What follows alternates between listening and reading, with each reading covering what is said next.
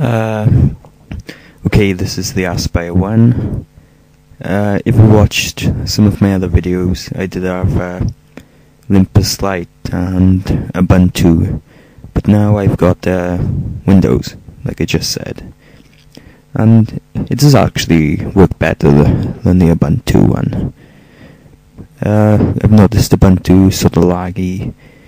It's alright. It's better than the Linpus Lite which it first comes with. Uh, if you don't know what that is, it's when it looks like so like this. Uh, the Ubuntu and the Windows one is a lot better than that. Uh, it doesn't really lag or anything. Uh, so I got some webcam software I've downloaded. I've got a movie maker. I got Vice City actually runs quite good on your is okay. Got this other game called Open Arena works quite good.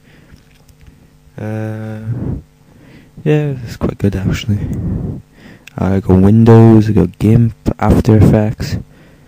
Uh, I got Frog.